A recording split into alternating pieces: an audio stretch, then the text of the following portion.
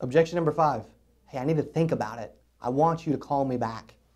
Perfect. Yeah, uh, I would love to. Unfortunately, our office has a no callback policy. You have all the information you need to make an informed decision. You need it, you want it, you can afford it. So while we're here, let's go ahead and get out of the way. So would you prefer the 5,000, the 7,000, or the 9,000? Which is best for you?